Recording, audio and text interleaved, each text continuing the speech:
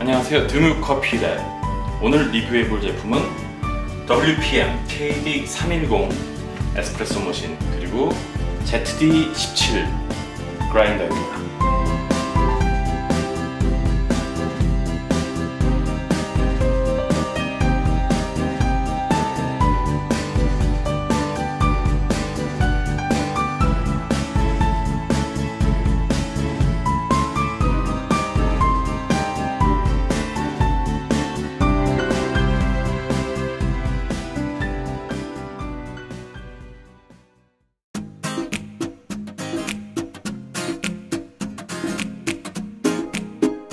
추출 후 뒤처리에 대해서 한번 체크를 해보죠. 자, 추출이 끝난 뒤에 포타 필터를 제거를 해보면은 어, 지금 현재 보시면 약간 물기가 좀 꽤 많이 보이죠. 어, 약간 네. 어, 추출을 하고 스티밍까지 한 후인데도 불구하고 이렇게 약간 물이 좀 남아 있습니다. 어, 흔히들 이걸 물퍽 현상이라고 하는데요. 음, 제가 그래서 제조사에 문의를 좀 해봤습니다. 제조사에 문의를 해본, 아, 제조사가 아니라 이제 수입사에 트레이딩에 문의를 해본 결과, 어, 일단은 제가 대여해온, 이 리뷰를 위해서 대여한 이 머신에서만, 어, 좀, 이 현상이 좀 두드러지는 것 같고요. 어, 그 솔레노이드 밸브라고 부르는, 네, 그 기술 담당 분께서 솔레노이드 밸브가 아무래도 어, 원활하게 작동을 하지 않은 것이 아닌가 그래서 AS를 받으면 어떻겠느냐라고 말씀하셨습니다. 일단은 어, 리뷰 시간이 그렇게 길지가 않아서 일단 리뷰를 진행을 하기로 하고요. 이 물퍽 현상은 어, 제 머신에 그 한정되는 현상임을 미리 알려드립니다. 자 일단 닦아주고요. 어느 정도 닦였으면은 한번 수동 레버를 올리고 필터를 반만 장착을 해서 이렇게 올려주면서 이렇게 보시면은 어 안에 위에 그 포터 그, 그 필터 스크린에 샤워 스크린에 붙어있던 원두 찌꺼기들이 깨끗하게 이렇게 나오는 것을 볼 수가 있습니다. 이거를 한번 제대로 제거를 해주고요. 네, 어, 마무리를 해주면 되겠습니다.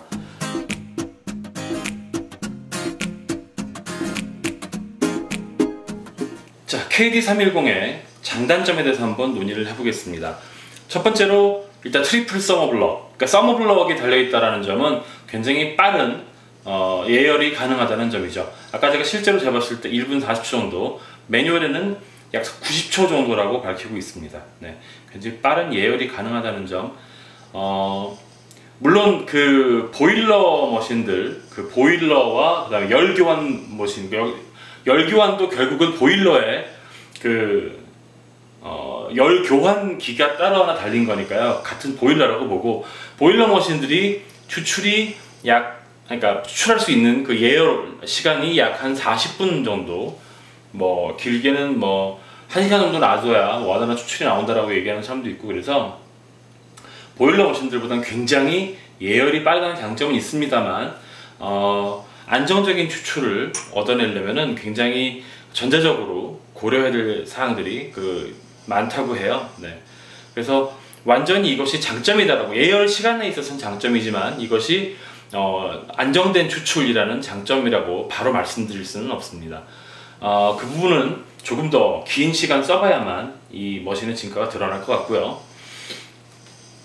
어, 펌프는 twin 펌프 그래서 어, 이 추출을 담당하는 펌프와 추출과 오, 저 온수를 담당하는 펌프 하나, 그 다음에 스팀을 담당하는 펌프가 이렇게 따로 나눠져 있습니다. 그래서 동시에 스팀과 추출이 가능하다는 것, 이것이 장점이 되겠고요.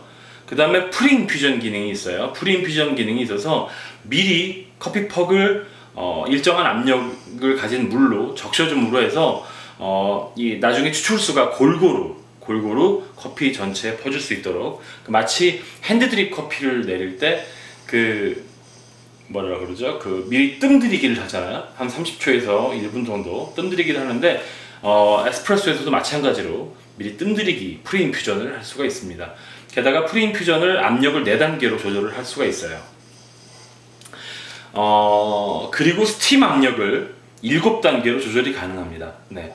pre-infusion도 압력 4단계 조절 가능하고 스팀 압력을 1, 1에서 7단계로 조절이 가능한데요.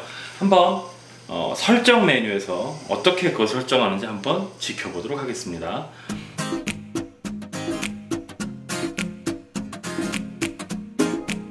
어, 처음 누르면 일단 커피 추출 온도를 조절할 수 있는 메뉴가 뜹니다. 디폴트는 92도로 되어 있고요.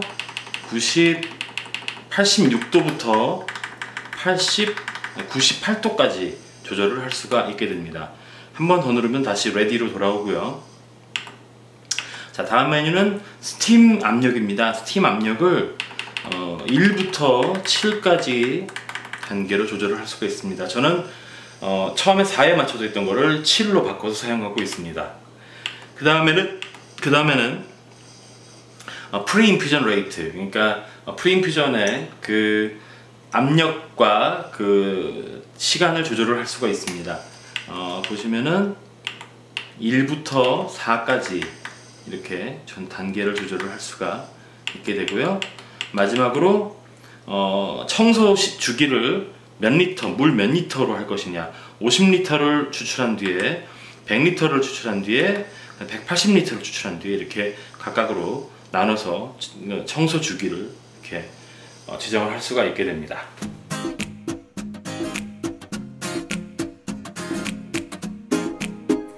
그렇다면 이번엔 어, KD310 머신의 단점에 대해서도 한번 알아보도록 하겠습니다. 어, 일단 음, 첫 번째로 하나 지적을 하고 싶은 것이 어, triple thermoblock이 어, 용도가 정확히 무엇인지를 좀 어, 알고 싶다라는 점입니다. 어, 홈페이지에 그 트웰 트레이딩의 홈페이지에 보면은 커피, 스팀, 추출이라고 되어 있는데 실은 커피와 추출이 같은 말이잖아요. 그래서 스팀과 추출인 거는 알겠는데 그 다음에 하나는 무엇인지 제가 추정하기로는 어, 펌프가 두 개라서 어, 스팀 쪽으로 하나 그다음에 추출 온수 쪽으로 하나 이렇게 두 개가 배정되어 있는 것 같고요. 다만 어, 이그 저 온수 쪽이랑 추출 쪽이랑 온도를 따로 조절한다던가 이게 가능한 걸로 파악이 되곤 있습니다. 홈페이지에는 좀 어느 정도 수정을 해주셨으면 좋겠습니다. 음, 그 다음에 그 thermoblock이 아까 이제 그 예열이 끝나고 나서 thermoblock의 그 온도가 충분히 오른 다음에 ready가 불이 켜졌는데요. 그런다고 해서 group head의 온도도 함께 올라가는 건 아닙니다. group head의 온도가 올라가려면 시간이 좀 걸리는 걸로 파악이 되고 있습니다. 어, 그래서 처음에 물론 group head에 물을 좀 흘려내줘서 group head 온도를 좀 올려주긴 하지만 그래도 어, group head가 완전히 이렇게 뜨거울 정도로 이렇게 될 때까지의 시간은 좀 걸리는 걸로 파악이 되고 있습니다. 자 그리고 추출할 때 이 온도 이, 이 압력 게이지가 압력 게이지가 약 14바에서 16바까지 급격히 올라가요. 어, 다른 머신에서는 잘 보기 어려웠던 현상이거든요. 어, 일반적으로 저 빨간색 일, 그 적정 추출 압력인 한 8바에서 12바 사이를 왔다 갔다 하는 걸로 이렇게 파악이 되는데 이 머신의 경우는 물론 dual basket을 쓴 이유도 있긴 하지만 그렇다고 쳐도 어, 온도가 아니, 압력이 14바, 16바까지도 수직 상승을 합니다. 이거 이 부분에 대해서 문의를 드렸더니 어, 이 압력 게이지가 보통은 일반적으로 보일러 머신에서 보일러 내 압력을 재는 걸로 이렇게 되어 있는데 어, 이 머신의 경우는 아무래도 서머블럭 방식이다 보니까 서머블럭을 지난 이후 물이 서머블럭을 지난 이후에 이 그룹 헤드에 직접 걸리는 압력을 체크를 하다 보니 압력 게이지가 14에서 16까지 올라가는 거다 이렇게 표현을 하시더라고요. 음, 저도 저번에서 정확하게 뭐라고 말씀드리기는 그렇습니다. 어, 왜냐하면 아무래도 저 엔지니어가 아니다 보니까 정확한 판별은 불가능하지만 하여간에 압력이 좀 14, 16까지 걸리는 거는 약간 걱정은 돼 보인다 이 정도로 정리를 하고 넘어가 보겠습니다.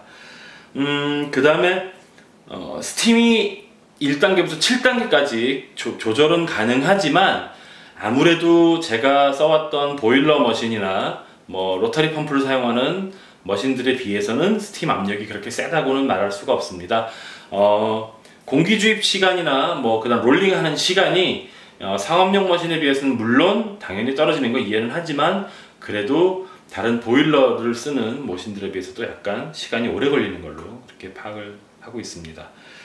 음 그리고 또 한 가지 58mm 그 필터인데요. 58mm인데 그 중요한 점은 58mm 그 VST 필터 같은 일반적인 그 외부에서 쓰는 필터들이 호환은 가능하지만 다만 어, 이 group head의 체결은 불가능하다는 점. group head 체결은 안 됩니다. 그러니까 E61 그 흔히 가장 많이 쓰이는 E61 group head랑은 어, 미묘한 차이가 있어요. 네. 어, 이 옆에 옆에 날개 부분이 특히 두께나 이런 것들이 차이가 있어서 그룹 헤드에 직접 체결은 불가능한 것으로 이렇게 확인을 했습니다. 어, 막 떨어지고 그러네요. 어, 그런 아쉬움이 좀 있다는 거. 다만 그래도 VST 필터라든지 어, 유명한 그 58mm 그러니까 상업용 머신에서 쓰는 것들을 써볼 수 있으니까 그 부분은 장점이라고 볼 수 있겠습니다. 그 다음에 좀 아쉬운 부분이 이 부분이에요. 그 클리닝 기능이 이렇게 마련이 따로 되어 있는데 이게 정확히 무슨 기능인지 모르겠어요. 그러니까 어, 영문 홈페이지에서 뭐 그 그 본사 홈페이지를 찾아보려고 해도 본사 홈페이지가 좀 불안한 상태고 이 클리닝 기능을 보시면 클리닝 누르고 커피 쪽 추출 클리닝을 해놓으면은 그냥 물이 나와요. 네. 멈췄다가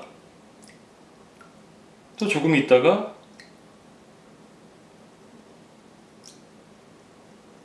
또 물이 나올 텐데 한 번 더. 물이 나왔던 걸로 기억을 하는데요. 네.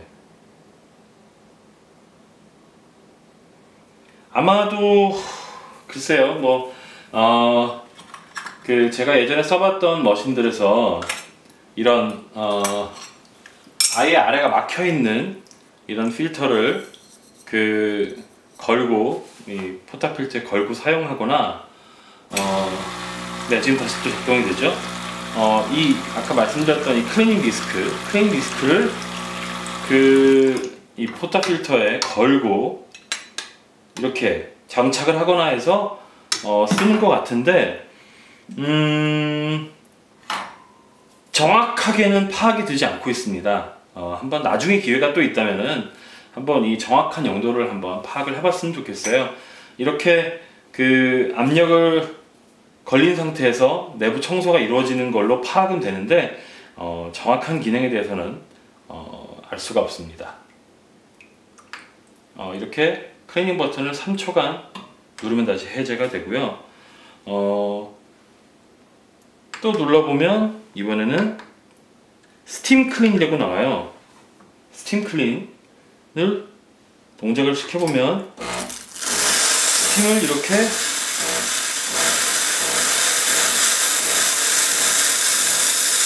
그냥 스팀이 나옵니다. 네. 그냥 스팀이 계속해서 나오고요. 네, 중지를 시켜주면 스팀이 멈춥니다. 이걸 왜 굳이 이렇게 따로 기능을 만들어 놨는지 솔직히 약간 의아하다 싶은 네. 어, 마찬가지로 온수 클린 기능도 있는데 정확한 용도를 알 수가 없습니다. 이 부분에 대해서 뭐 유튜브 동영상 같은 걸로 한번 속 시원하게 해결을 해주셨으면 좋겠다 이런 생각이 듭니다. 어, 이로써 KD310의 장단점들을 한번 알아봤습니다.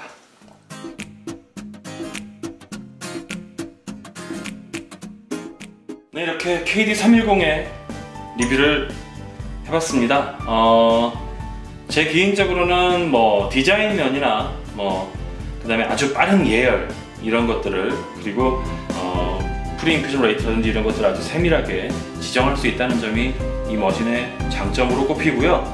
어, 아주 소소한 단점들만이 발견이 되고 있습니다. 소소한 것들은 이제 차분차분 어, 아무래도 WPM이 그 커피 용품을 만든 지 그렇게 오래되진 않았잖아요. 신생회사라고 봐도 될 정도로 신생회사인 만큼 어, 많은 발전을 거듭해서 어, 결국에는 우리가 상대적으로 저렴한 가격에 좋은 기능들을 사용할 수 있는 머신들을 많이 만들어내는 회사가 되기를 기원해 봅니다. 이로써 KD310의 리뷰를 마치도록 하겠습니다.